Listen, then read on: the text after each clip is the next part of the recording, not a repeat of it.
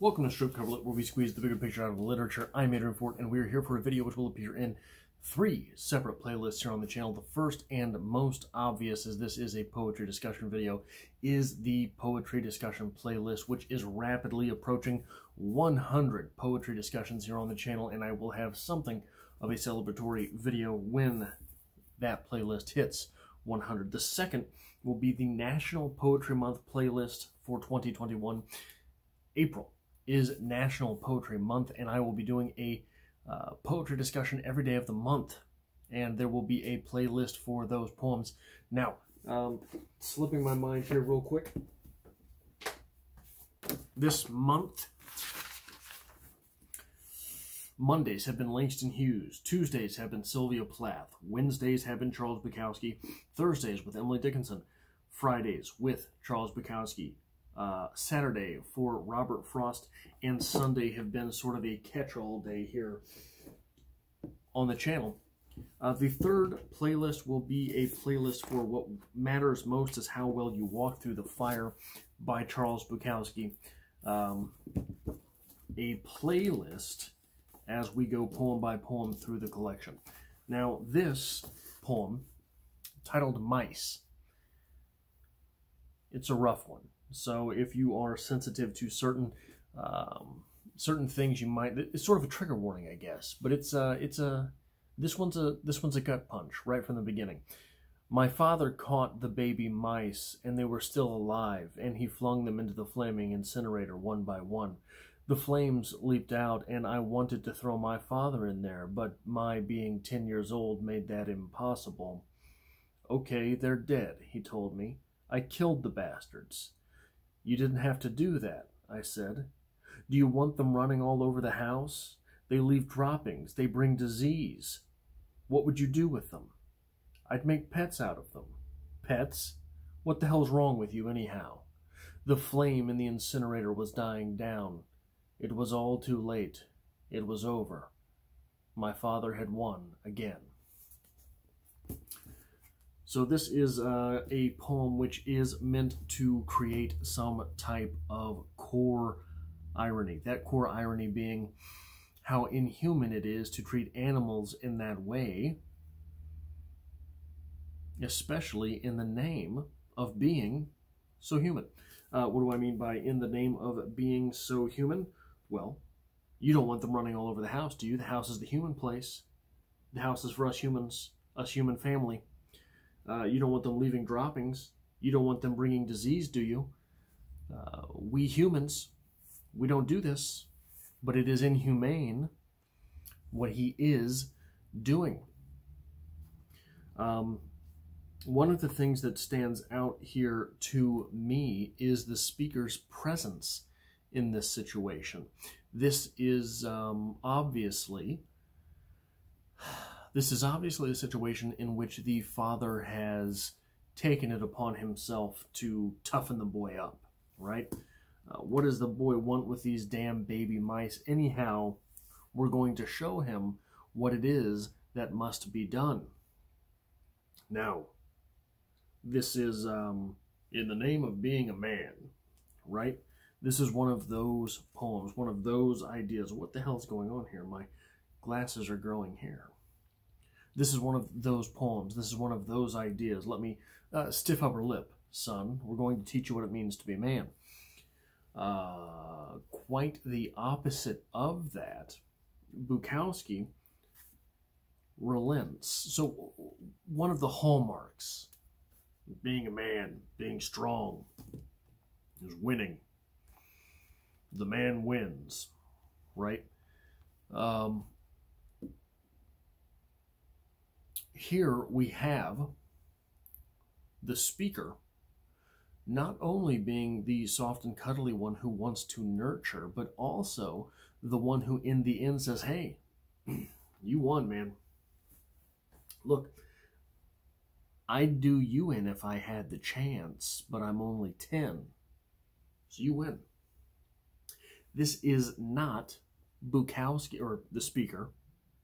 This is not our speaker assuming uh, traditional masculine roles, the traditional masculine viewpoints, their traditional masculine bravado. This is not that. Our speaker here um,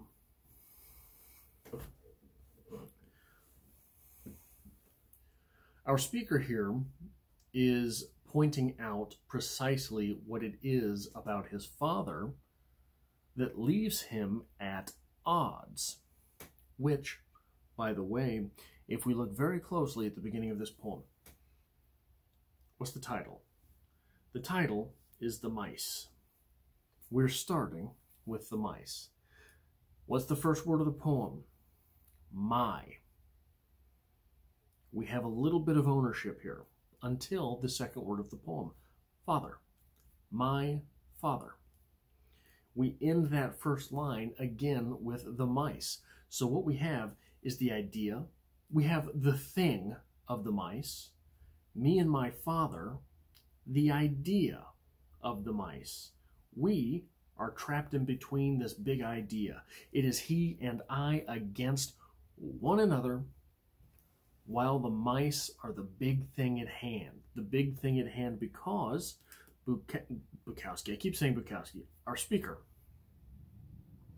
Our speaker wants to make pets of these mice, wants to have some loving, cuddly relationship with these mice, wants to be there for these mice, wants to foster these mice. The father says, No, that's not what we do. Us humans, us men, we destroy them. Why? Because they, though they do not aim to, will destroy us. They will bring that disease. They will bring those droppings. They will do that all while running all over the house. This is so this entire collection so far of what matters most is how well you walk through the fire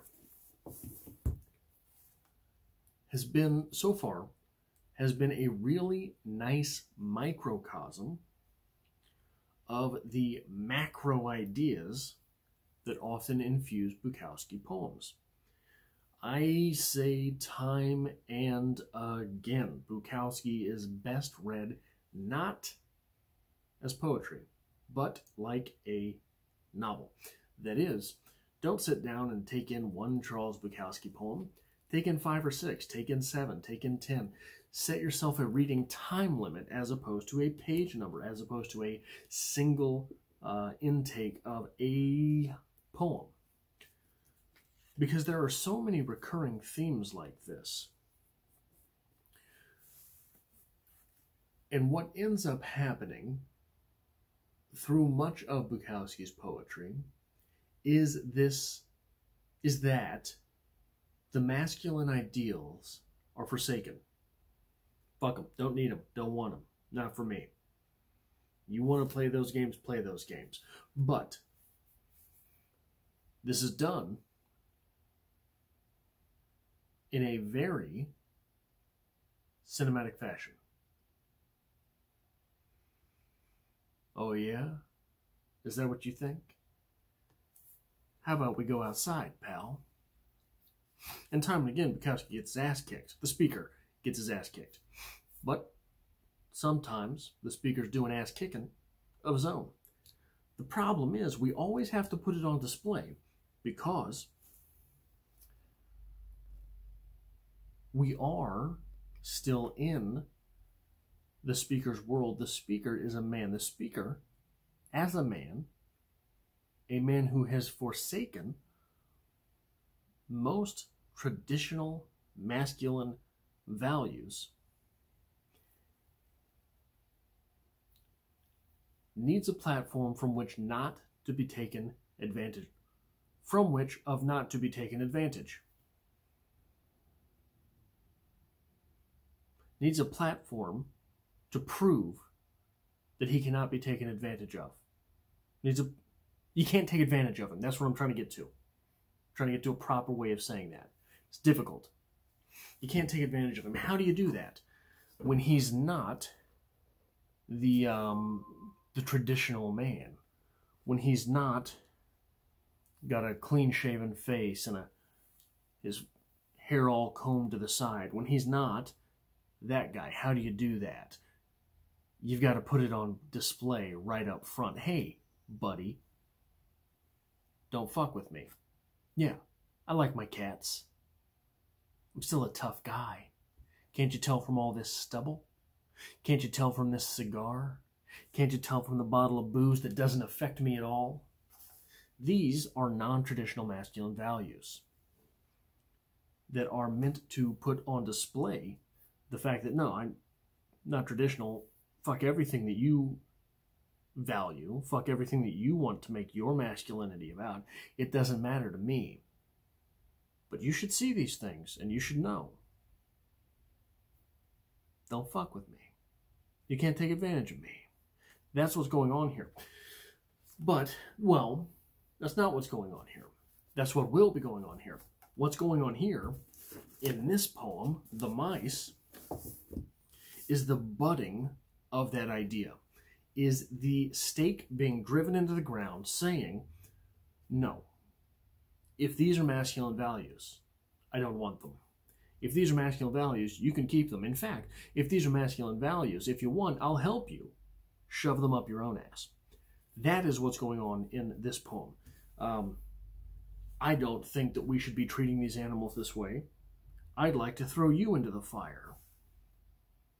But I'm smaller than you, so we're going to put that off. I'm only 10, so we're going to let that be. You know.